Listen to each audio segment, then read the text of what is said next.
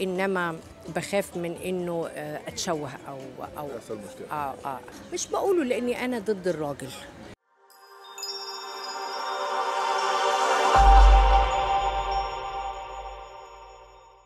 ومن شرم الشيخ مع ماضو القمر.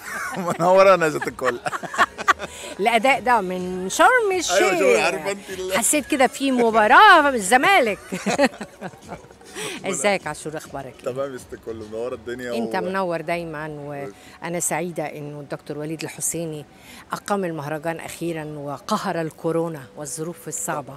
طبعا. شايف ان المهرجان وهيبقى فيه مواهب غنائية كتير وانت عضو لجنة تحكيم شايفة التجربة إزاي وشايفة مدى صعوبتها إيه؟ منتدى مصر الدولي لكنوز الإبداع وده الاسم الرسمي للاحتفالية الكبيرة اللي يشرف عليها وليد الحسيني من سنوات يعني دي الدورة الرابعة أعتقد. هي بتشجع الفرق الشبابية العربية من كل الوطن العربي تيجي تشارك آه، في سينجلز آه، أغاني خاصة وفي فئة طبعا ال- الفرق. الفرق. آه، جاي من الجزائر أكتر من نجم كبير غير إنه طبعا معنا نجم غناء آه، جزائري كبير في لجنة التحكيم.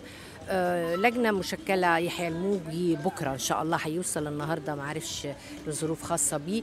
الحقيقة حمادة الحسيني وليد الحسيني أنا معرفتي بيهم كانت من أربع سنين. مسا الورد فاكر برنامجي اللي كنت بقدمه مسا الورد؟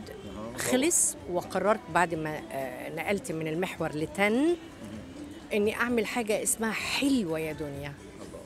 فرحت لهم قلت لهم مفيش فلوس وعايزه أعمل آه، أغنية أو تيمة آه، لبرنامجي حلوة يا دنيا. ناس ناس غير عاديين رائعين.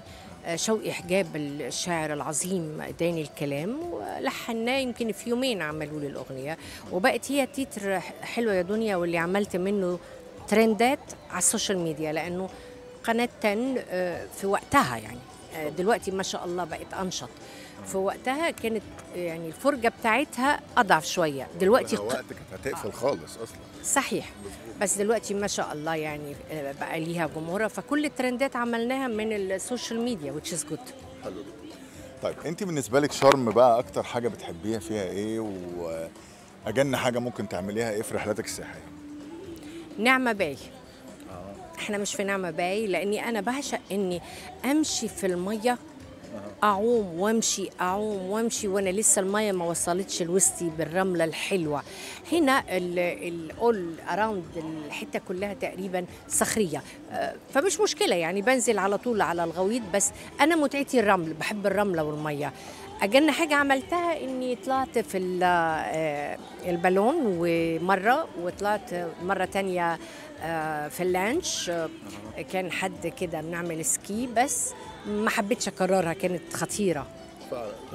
بتقلقي انت من الحاجات دي. ما بحبش بحترم جسمي بخاف عليه. ما بحبش أعرض جسمي لحاجة آه، تكسر رجلك رقبتك آه، مش بتموت لو بتموت مش مشكلة يبقى ده آه لا ما عنديش. ما بخافش من الموت. ما فيش حد بيحب ربنا بيخاف من الموت يعني ده لقائي بيه. إنما بخاف من إنه آه، أتشوه أو أو يحصل مشكلة. آه آه. طب ده أنت إيه رأيك في رامز واللي بيعمله في, في كل ضيوفه ده بيبهدلهم؟ آه. والله أنا ما أعرفش هم بيطلعوا معاه ليه. ده السؤال يعني السؤال الكبير. بيطلعوا معاه ليه؟ بيعرضوا جسمهم فقرات ظهرهم. آه أنا أحيانا بتخض يعني بشوف ستات كبيرة في السن في السبعين. في ناس طلعت نجمات في السن ده. ليه؟ سؤال كبير. فلوس حلوة ممكن؟ يا دي الفلوس اللي بتزل يا دي الفلوس اللي ملهاش لازمة. معرفش هو- هو أكيد في ناس بتستفيد ربما في إنعاش وجودها. في الميديا. يعني أنا مواظبة ميديا تلاقيني في المهرجانات موجودة. في ففي ناس تبقى م- بقالها مدة بعيدة فعايزة ترجع وبيجي لها ال- الكومباك عن طريق رامز. ف تيجي على نفسها عشان الشهرة عايزة تخدمها ال- ال- الشغلانة بتاعتنا تواجد دائم اجتهاد يومي. طبعا. طيب دلوقتي الموضوع بتاعنا يارا أشرف آه قلب الدنيا بشكل مش طبيعي. رابع حادثة حصلت في المنصورة برضو البنت تانية. يعني عايز تقولي إيه عن ده وعن الناس كمان اللي كانت بتدافع عن محمد عادل وعايزاه يطلع براءه بص يعني هو في جيوش لازم نستوعب ده. في جيوش مجيشة على الميديا في فكر آه، ظلامي في فكر سوداوي يضطهد المرأة يعتبرها مش أكتر من ملاذ آه، للراجل. هذا المنطق الجاهلي ولا حرام إحنا منهين الجاهلية هم أسوأ من كده بكتير يعني. فهو فارض نفسه في الميديا. أنا عارفة إنه أنا بطلع دايما بقول كلام مع المرأة.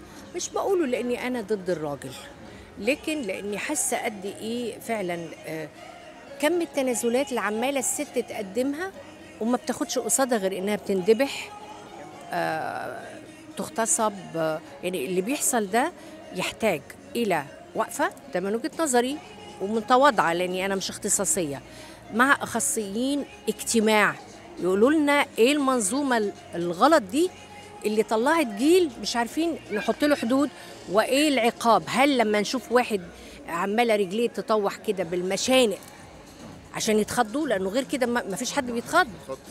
مش شايفين فبيموتوا ما بنعرفش ماتوا إزاي. فيمكن يمكن. الله أعلم. وفي ناس تقول لك لا أصل أمريكا وقفت الإعدام ال- العلني. لا. أنا مدلين اللي ماليش علاقة بالعلم الاجتماعي. أنا شايفة إنه قد قد شوف كمان قد لأنه ما عدناش عارفين التوحش ده جاي منين.